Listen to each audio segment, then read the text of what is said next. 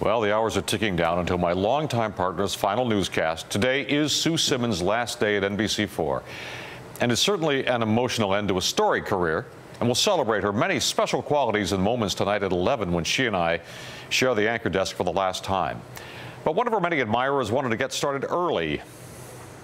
Hey, Sue, I'm now old enough to hear nice people come up to me and say, I grew up watching you, and I'm always taken aback to hear it. But in this case, Sue, I grew up watching you over on the Jersey Shore within sight of the Verrazano Bridge and the Twin Towers. May they all rest in peace. We were a Channel 4 family, a Live at 5 family, a Chuck and Sue family, and now I have a family of my own, and we're the same way, and you're a part of it.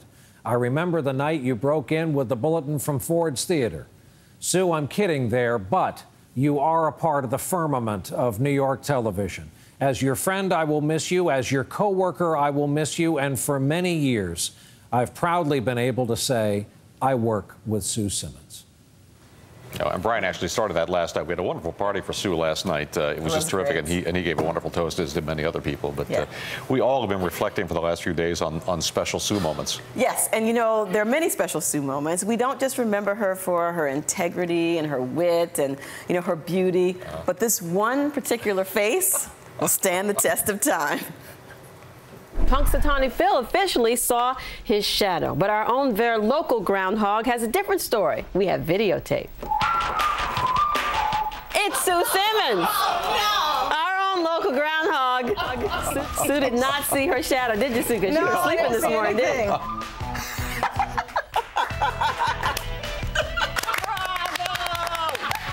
Yes! freshness to it.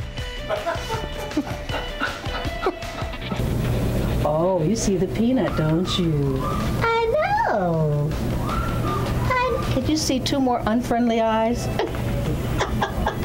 Chuck, I just want you to know that I pay tribute to you in more than one way. Once a year, February 2, I make a little face imitating you, and the rest of the year, I work with Chuck.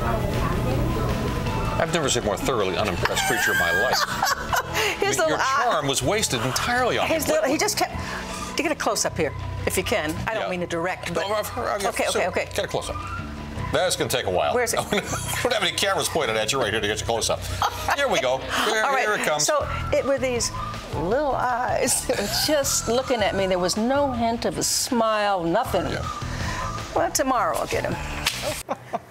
I'm not oh, sure which gosh. was funnier, her doing all the faces or yeah. actually talking to Staten Island Chuck well, I know. She did a fine interview with him. yes, no, she, she can handle any kind of interview subject, even if groundhog doesn't say a thing. So. Well, I got to tell you that uh, it, there will never be another face like that on, on television. Nope. And long live Groundhog Day. I will not be trying that, just so you know, when it comes around next year.